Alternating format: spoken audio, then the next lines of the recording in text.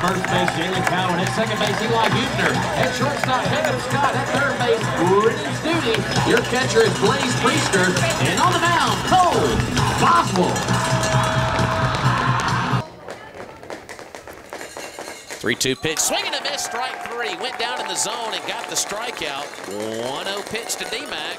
And it's going to be a base hit down should be extra bases for McIntyre. He's around first, headed to second, and McIntyre sets the tone again, and he gets to second base on the leadoff double.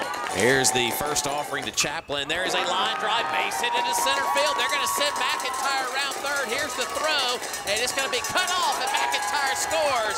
And back-to-back -back base hits, and Meridian's on top one to nothing. And here's that two-strike offering to Studi, and he's going to drive one. Left field, it's back,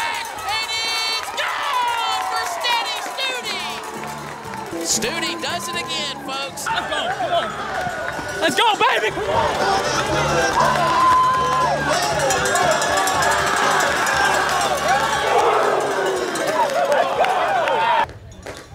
or excuse me, a double. Then you had a single by Chaplin. The Studi home run. Now Jalen is going to go yard all the way back and kiss that baby goodbye halfway up the hill. Like I said, if he starts to get going, watch out, everybody else.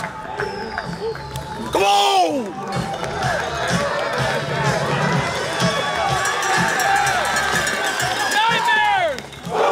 That's nothing to do! Another payoff pitch coming up here to Galt. And that's a swing and a miss, strike three. So another strikeout for Boswell. All right, Cole. One-two pitch coming up here. Swinging a miss, strike three. Got him back-to-back punch-outs to wrap up the top of the second inning.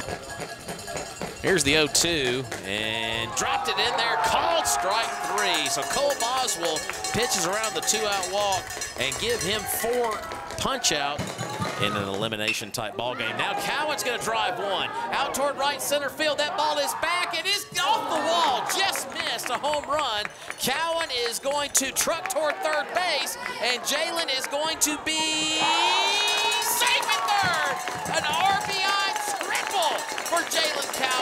Now he's dealing with a pinch hitter, Kimbrough. Here's the one-two, and a swing and a miss, strike three. Gets Kimbrough, the pinch hitter, to go down on strikes here at the line fourth inning. Here's the two-two, and swing and a miss, strike three. And Cole Boswell does those Cole Boswell type things and gets the Eagles out of the jam.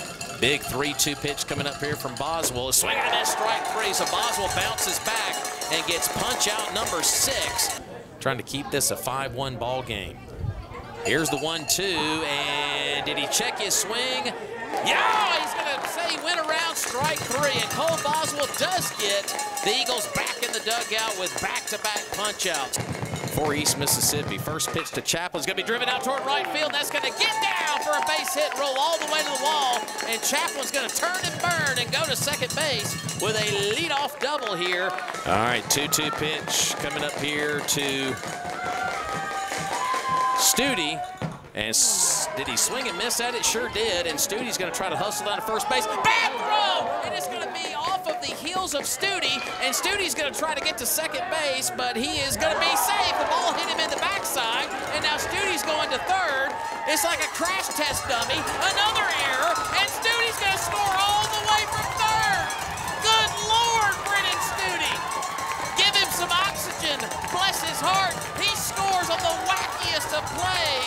As Meridian scores not one, but two runs off of that. Griffith has done a great job for East Mississippi. Pitch to the plate, swing and a miss, strike three. And The reaction from Cole Boswell says it all as he gets through six, and he's got seven strikeouts. One or two moves ahead here as McIntyre's going to take off. Hit run action, and it's going to get past the second baseman Yates into right field for a base hit.